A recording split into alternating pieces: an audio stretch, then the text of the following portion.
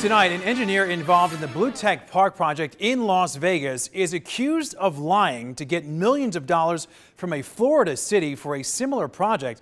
That is according to an investigation from the Miami Herald. The paper is also reporting police say that Janet LeGrand used a fake engineering firm and falsified resume to win a $33 million construction project on a large retail complex in Homestead.